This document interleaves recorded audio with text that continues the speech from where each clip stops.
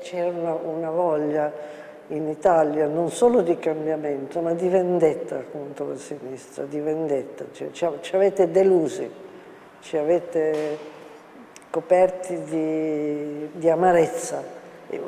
Non votiamo più per voi. Ma la verità è che è una reazione emotiva, non è una reazione politica questa. Io non sono dell'avviso che tutto quello che fa la base, il popolo è giusto, è una reazione mm, non riflessa.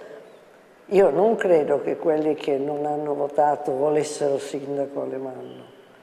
Adesso so, si sono svegliati trovando un sindaco per il quale un mese fa nessuno dava niente. È delusa con la sinistra perché c'era una grande aspettativa sul governo Prodi e eh, questa aspettativa è andata delusa.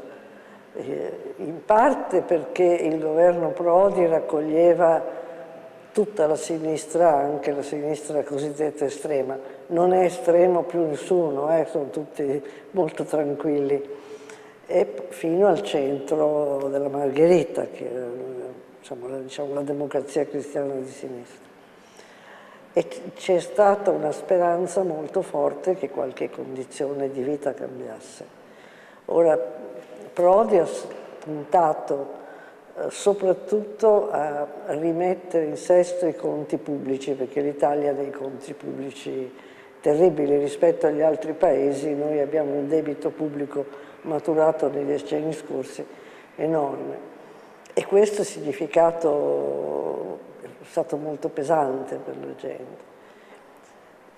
E quindi c'è stato una... Eh, abbiamo sperato in voi, ci avete delusi, siete stati una delusione e ve la facciamo pagare. Il problema è che due cose io credo.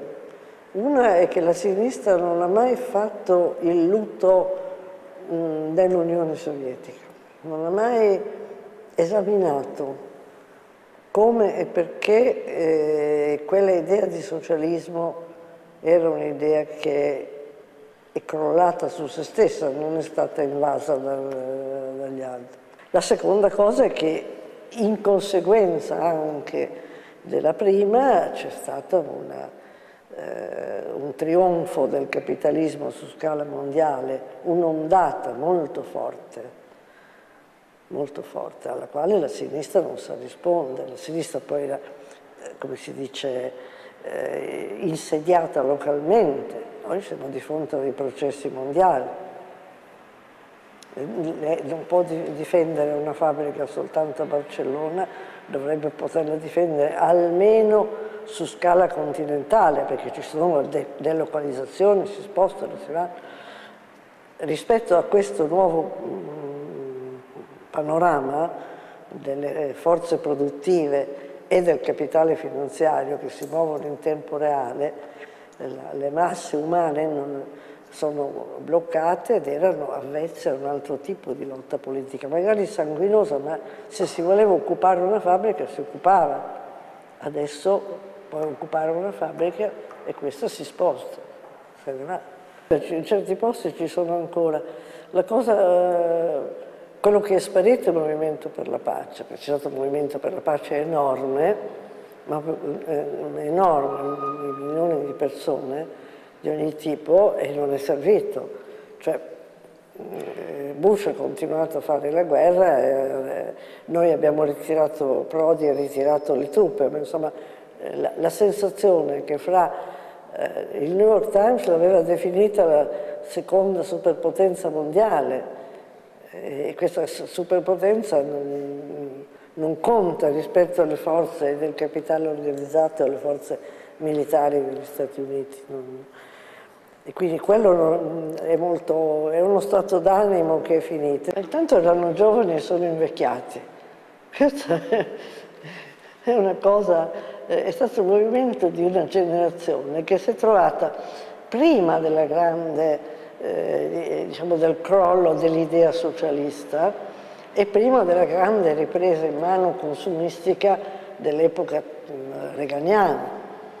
Quindi da un certo punto di vista Daniel Commendita ha ragione quando dice non è la stessa situazione, la situazione si è proprio profondamente eh, modificata, però a situazione modificata dovrebbe corrispondere un movimento modificato e riflessivo a questa altezza. I figli di quelli del 68, i figli dei figli, non simpatizzano più per i padri. Perché?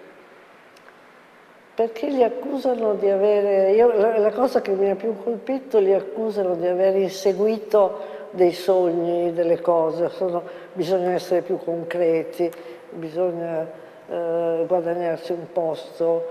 Voi in fondo vi siete divertiti e noi non ci divertiamo affatto. Questo e adesso eh, in tutta Europa, per esempio, la lotta si sposta più che il conflitto di classe, hai dei conflitti nella classe, perché tu hai mm, i vecchi e i giovani contro i giovani e gli immigrati contro tutti, cioè tutti contro gli immigrati, stanno avvenendo delle cose terribili sull'immigrazione, delle cose di tipo fascistico. Io non sono, avendo conosciuto il fascismo, non sono uno che usa questa parola per dire uno antipatico e fascista, no, il mondo è pieno di antipatici non fascisti.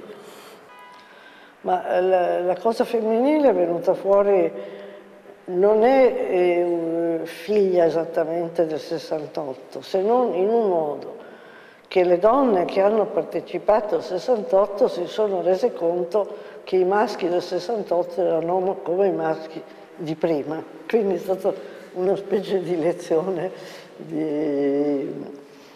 e il movimento femminista è venuto fuori ed è quello che in qualche misura dura di più, però non è riuscito neanche il movimento femminista a influenzare realmente eh, diciamo, il corso delle politiche.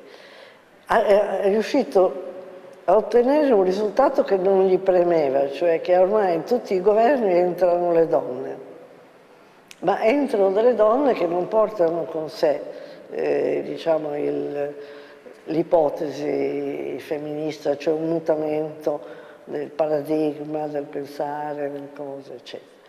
Quindi il femminismo ha dato un forte passo in avanti all'emancipazionismo. Anche voi avete, siete pieni di donne al governo. In Italia c'è stato il Partito Radicale che aveva presentato per rompere l'istituzione una pornostar. Questa pornostar è arrivata al Parlamento e si è spogliata nella Camera dei Deputati. Quindi, straordinario eh, evento, no? Il Presidente della Camera le ha chiesto, ha finito, onorevole d'Italia, Niente è successo. Io sono appena arrivata, non ho da questa parte, e vedo Barcellona e l'ho vista, è la città spagnola di quelle che io conosco che è più cambiata rapidamente. Nei dieci anni che hanno seguito la caduta di Franco, Barcellona è, è cambiata molto. E poi voi avete in Barcellona e Catalogna una grande tradizione di architettura. Questo ho trovato anche a Girona, architettura è del Novecento, come anche architettura moderna, quindi Barcellona è, è cambiata. Cosa siano i barcellonesi? Io salvo Ronaldino non so neanche.